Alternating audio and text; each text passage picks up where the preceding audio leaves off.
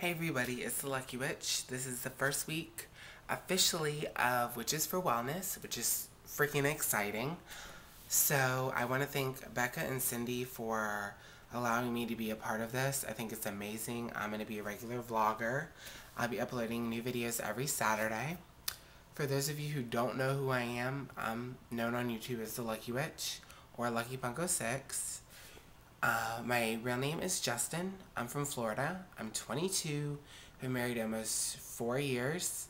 I am pagan and I'm bisexual.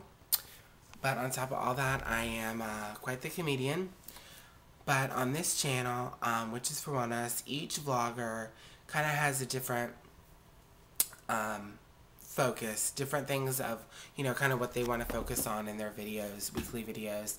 And things I'm going to focus on are politics, religion, and emotional distress.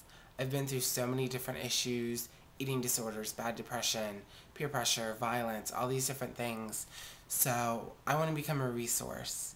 And that's what I'm going to do, and that's what I'm going to focus on. A lot of my videos are going to be very serious. Uh, so I'm very excited about that.